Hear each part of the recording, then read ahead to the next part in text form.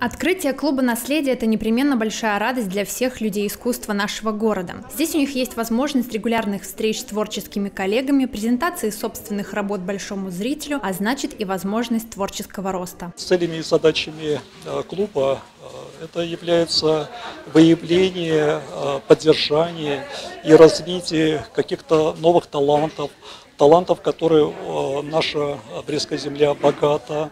Это поддержать этих мастеров, дать им возможность показать себя, поделиться творческим опытом, значит, организовать, провести какие-то художественные выставки и вообще участвовать в жизни и городских мероприятиях, которые имеют место в нашем городе. Темой первой открытой встречи стал великий праздник православной Пасхи, а поэтому совсем неудивительно, что на экспозиции был представлен широкий ряд авторских работ ремесленников и художников, посвященных этому светлому событию. Особенно впечатляют иконы, вышитые бисером, при желании их можно купить, в дальнейшем осветив в церкви. Были здесь представлены и свечи ручной работы, вышитые крестом картины, вязаные салфетки и многое другое. В продолжение мероприятия три члена клуба в открытом формате ознакомили аудиторию со своими произведениями, рассказали о техниках и, конечно, о своем личном творческом пути. Если кто-то хочет немножко подучиться, поизучать опыт других мастеров, это хороший шанс. Мы будем проводить разного рода художественные выставки по всему городу.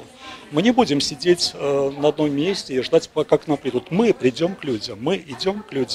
То есть, э, с одной стороны, отечественные черты клуба, что она открытая. Она открыта для творческих людей. Если есть таланты, мы рады, они могут э, к нам подключиться. Важной целью клуба является помощь творческим людям реализоваться в Бресте. В будущем городские мероприятия станут открытой площадкой для них. Планы у организаторов проекта «Наследие» огромны, но главное сейчас это рассказать о себе всему городу. Быть может, где-то в Бресте есть люди, которым такой проект очень нужен. Пока планируется у нас э, сбор э, участников да, в наш клуб «Наследие», но мы его популяризируем вплоть до того, что мы будем организовывать походы в школы, да, в университеты, чтобы приобщить к, к нашему делу больше э, людей да, города Бреста, чтобы даже ученики, учащиеся или просто мимо проходящие люди могли прийти к нам на выставку, либо же в наши дни сборов, да, это первый вторник каждого месяца и могли ознакомиться с работами э, мастеров города Бреста. Алена Миневич, Эдуард Букунович, Александр Макаревич, телекомпания Бук ТВ.